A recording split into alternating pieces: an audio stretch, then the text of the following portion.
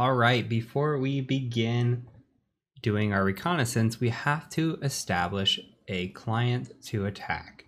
So for this course, we're going to be utilizing a client out of BugCrowd. If you've never heard of BugCrowd, BugCrowd is a public bug bounty program. What that means is there are programs on the website that will allow you to attack them. And if you find a bug against the program, you're able to submit it and potentially get money for it. So you are able to hack these programs publicly as they are part of this program. Now, the program we're going to be attacking is Tesla. So Tesla is part of BugCrowd. Now, please do note, please double check when you're watching this course as some time may have passed. Tesla might no longer be part of this bug bounty program, so it's very critical to make sure that you are still within scope before you attack. If for some reason Tesla is no longer in scope, just go ahead and pick a new client and do information gathering on them. You don't have to pick Tesla when we're doing this. You can just do it to follow along with me, but you're also welcome to pick any program you want. So if you go to bugcrowd.com and we go to programs, I will show you where Tesla exists. Now you can see here that they have all different types of programs in here. And if I were to scroll down and continuously, I could find more and more and more.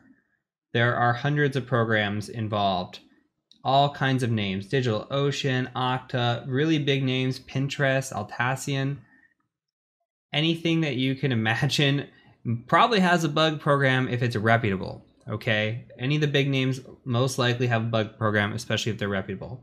So here you could see what's based on reward, what's based on charity, and what's based on points only. That's how the bug bounties are rewarded. Some of them are not all cash. Some of them are just for points and for kudos, and the other ones are for charity. I'm gonna go ahead and just search Tesla.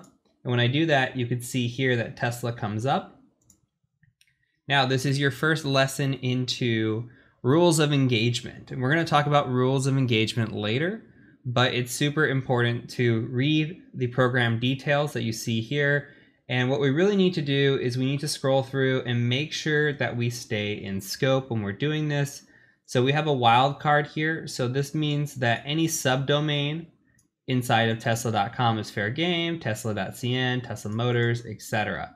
What is more important is that we stay within this out of scope.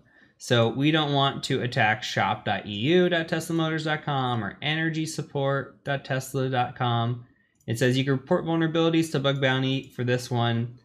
Any domains from acquisitions, such as Maxwell. So we have to stay within Tesla.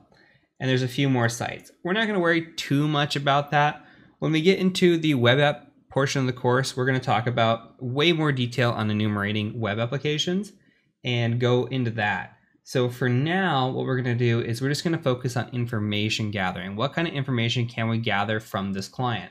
So again, I'm setting my target to Tesla. If you pick another Tesla or another client, just make sure you stay in scope of that client.